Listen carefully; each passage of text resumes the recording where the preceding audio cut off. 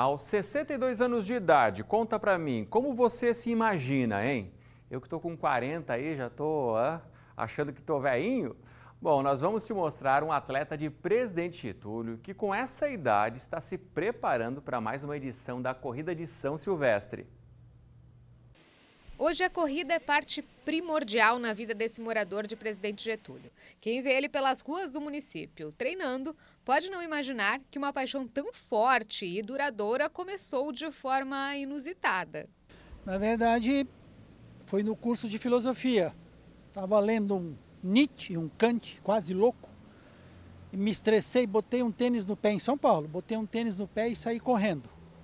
Isso me fez tão bem que quando voltei falei, não, a partir de hoje vou fazer isso direto. E foi isso que ele fez. Naquela época, quando tudo começou, ele foi aos poucos também pegando gosto e querendo mais. Na verdade, eu estava no seminário ainda. Sou praticamente ex-padre, digamos assim. E é, a partir dali, é, eu iniciei correndo por vontade própria em São Paulo, né? Não participei em nenhuma corrida extra, mas da São Silvestre, como eu não tinha dinheiro para participar, e na época não tinha esse palavreado, eu era então o pipoca. Mas nunca tomei água de ninguém. Corri sem tomar água. O que, que, é? Explica pra gente que o pessoal que talvez não conhece tanto a São Silvestre, o que, que é ser um pipoca? Pipoca é o seguinte, as pessoas que não têm dinheiro para pagar uma inscrição, eles participam da corrida, fazem o mesmo trajeto, não tem medalha, não tem troféu, e usam, tomam a água das pessoas que fizeram a inscrição e pagaram pela água. Mas a minha índole nunca, nunca fez com que eu fizesse isso. E a corrida de São Silvestre acabou se tornando uma tradição da qual ele não abre mão. Fui criando gosto pela São Silvestre, é a minha 17, se eu não me engano. Depois, então, a gente foi se inscrevendo direitinho. E é a corrida que encerra o ano, né? Então, para quem é corredor, ali é o ápice, né? A gente se sente primeiro privilegiado de estar vivo. Aí você olha com 62 anos, né, a quantidade de jovens que você ultrapassou, que ainda vão ter que chegar onde você já chegou. É extraordinário, indescritível. O Adelor é natural de Presidente Getúlio, se mudou para São Paulo, mas voltou para cá quando os pais precisaram dele.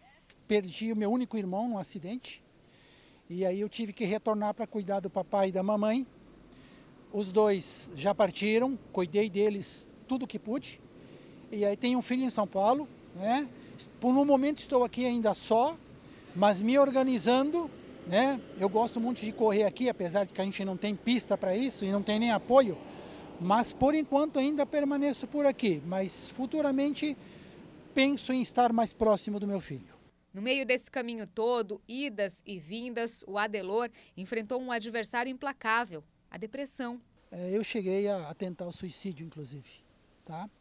E aí fechei meus olhos e vi todos os meus alunos, que sou ex-professor aposentado, vi todos os meus alunos decepcionados com a minha atitude. E não tive coragem. E a partir desse dia, não me envergonho de dizer isso, porque nós somos humanos, né?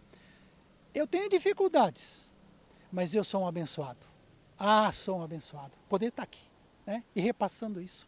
A corrida foi um dos meios pelos quais ele conseguiu dar a volta por cima. Hoje, aos 62 anos, mantém uma rotina saudável e feliz também através dela.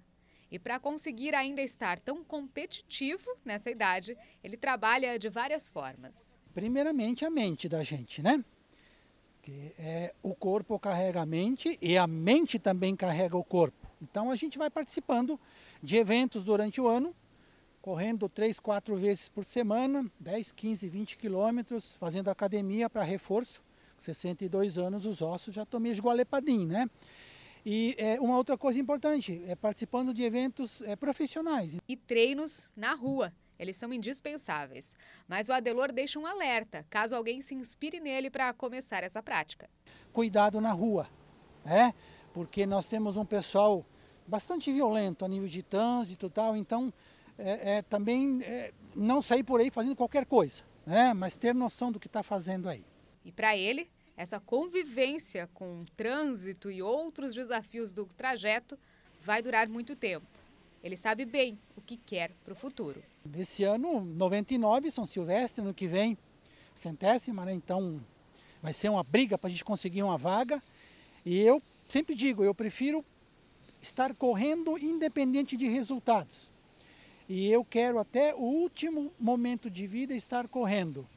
Eu não quero mostrar para todo mundo os troféus que eu tenho lá e dizer assim, um dia eu corri. Não é não. Eu estou correndo e vou correr. Primeiro que eu estou correndo da morte. Não vai ser fácil ela me pegar, pode ter certeza.